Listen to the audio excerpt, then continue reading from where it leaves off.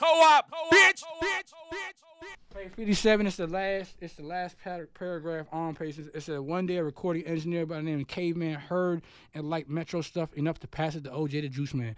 So if you didn't know yet, OJ Da Juiceman and Caveman found Metro Boomin. So you really have to thinking about this. You have to think about this. Without OJ Da Juiceman, where would it, where would Waka Flocka be? Without OJ Da Juiceman, where would Future be? Where would Future be without OJ Da Juiceman? Cause that who that who found him. And then people don't even you know people don't even talk about his first Metro very first placement ever, very first placement, four from Alley Boy. He did four. Very first, Oh, very four. first Nigga, placement. that shit was hard. That was the shit with Jeezy and Gotti, right? Very first placement Nigga, got Jeezy and Gotti. Hard. At the time, he was signing Don Cannon. Metro was. Yeah, I had took I was I, I had took I took Metro to Don Cannon and I said, listen, I got him a real placement, bro. We got Yo Gotti and Jeezy Yeah, on it. I need your help. I don't know what to do. So Don, Don signed him and he he administered you know all that Yeah. for.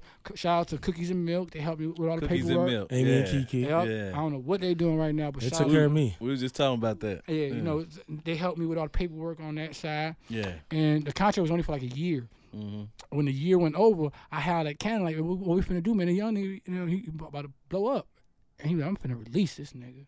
He ain't got no placement. He only got one. Let him go. Whew. Six months later, no, six months later, Future put out Hard, which was the very first record that Metro and Future did was called Hard. And uh, Future called Metro, you know, called Metro to the studio, and then they called me, and they really was like, man, listen, we want to sign him.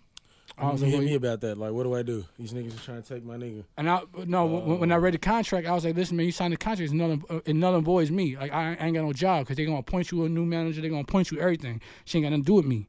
So, Future just came at me. Was like, "Yo, what you want to get him out of your contract?"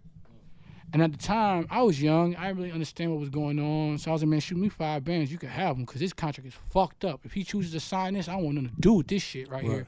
This contract is boo boo fool." And so, um, F- Future went in his pocket and give me five thousand.